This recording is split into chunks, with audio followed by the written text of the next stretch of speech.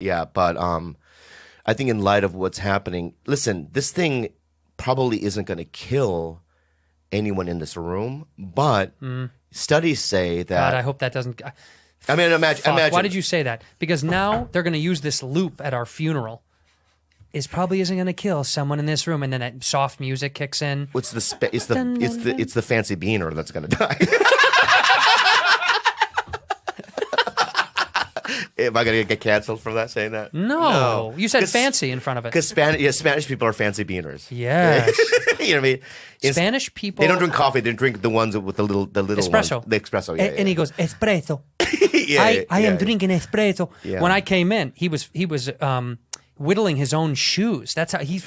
You know that Yeah, yeah. they're really talented. Those guys. But they say that like young people that get coronavirus, they lose twenty percent of their lung function. told me that But before I'm only functioning on twenty percent lung functions as it is. So if I get it, I'll have zero lung function. Yeah, I'll die immediately. in both lungs, or is it just in one lung? I don't know, but like a Belgian doctor um, was analyzing um, young patients that had the coronavirus, and he said the results are fucking terrifying. I know. I saw some of the X-rays online. You can look up some of the X-rays online of people that are getting it. It's creepy as fuck. Yeah. And they show what it looks like in your lungs, kind of like how pneumonia looks, kind of creepy in your lungs.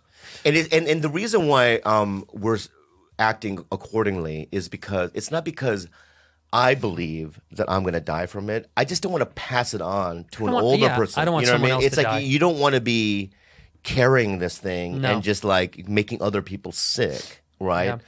So let's you know do our due diligence.